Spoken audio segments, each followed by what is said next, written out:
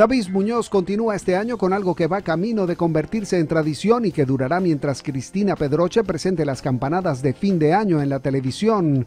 El chef nos recordó cómo le habían quedado los vestidos que lució su esposa en años anteriores y nos preparaba para la presentación del vestido que lució la Pedroche el año pasado.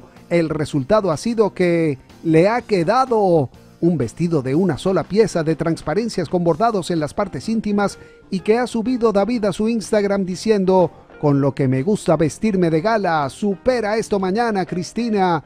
La presentadora no ha desvelado ni un detalle del vestido con el que dará la bienvenida al año nuevo, pero ya se encargó de calentar el invierno de esta guisa. Con las uvas ya veremos el vestido con el que David retará de nuevo a Cristina.